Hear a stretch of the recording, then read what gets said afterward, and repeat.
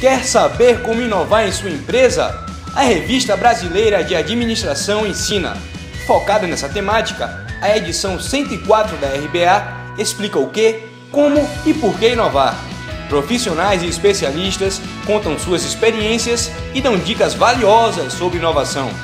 A RBA 104 traz ainda a importância das micro e pequenas empresas na economia nacional entrevista com o professor, administrador e referência em administração Hidalberto Chiavenato, a valorização do capital humano como prioridade para o desenvolvimento das organizações, além de cases de sucesso, artigos e notícias sobre o sistema CFA-CRAs. Confira! Revista Brasileira de Administração. Prejuízo é não ler.